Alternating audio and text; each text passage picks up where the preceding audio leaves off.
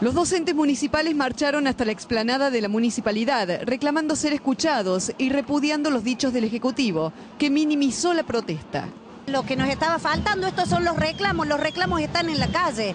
Estamos pidiendo que solucionen punto por punto los reclamos que venimos haciendo un año y medio. Esto no es político, esto es la gente en la calle reclamando por los chicos, por la infraestructura de la escuela, por la deuda salarial, por los auxiliares, por elementos de limpieza. Esto es hacer política, eso le preguntamos a ellos. Queremos decir que nuestro sistema desde el 2002 ingresa por concurso abierto y público. No tenemos amigos de los funcionarios, en educación no.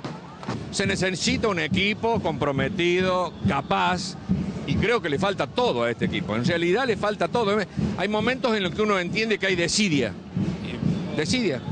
Yo siempre pongo como referencia nada más y nada menos que el sistema como cuando como lo dejó el padre del actual intendente. Y la verdad que deja, mucho que desear. Se lo hemos reclamado a otro intendente. Ahora, acá en esta gestión es cuando menos, cuando menos se ha hecho. Y lo que nos preocupa y, y que nos creo que prueba claramente lo que queremos decir es que han tenido como única respuesta de que primero los docentes no sabían por qué hacían asamblea, dijo la secretaria, bueno, acá están los docentes para mostrarles que sí saben, y segundo, que esto es político. La verdad, la verdad, que con eso han colmó la, gota del vaso. ¿Por qué cree que no hay respuestas? Y no hay respuestas porque no tienen capacidad para dar las respuestas. Esta es mi opinión personal.